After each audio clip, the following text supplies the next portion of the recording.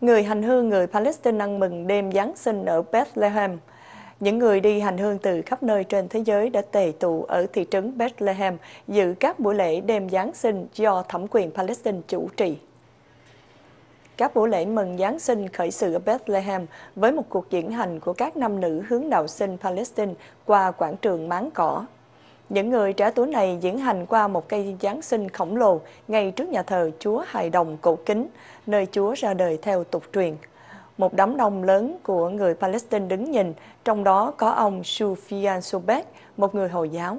Người Hồi giáo và cơ đốc giáo đều hạnh phúc vào dịp Giáng sinh, chứ không riêng người cơ đốc giáo. Người hành hương từ khắp mọi nơi trên thế giới đã đổ về để tham gia các lễ lạc và thờ phượng tại hang chúa Hài Đồng.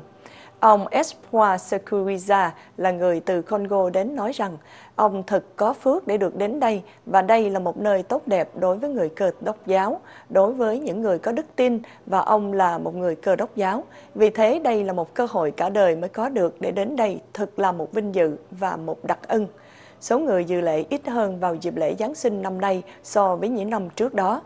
Cuộc chiến tranh 50 ngày giữa Israel và nhóm chủ chiến Hamas của người Palestine ở giải Gaza cách đây vài tháng đã khiến cho số du khách giảm mạnh và công nghiệp này vẫn chưa phục hồi.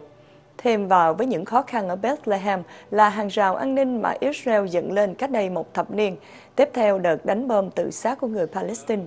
Giáo chủ Latin Fawad Twai, đứng đầu giáo hội Thiên Chúa Giáo La Mã ở Đức Thánh, đi qua hàng rào bê tông để từ Jerusalem đến Bethlehem.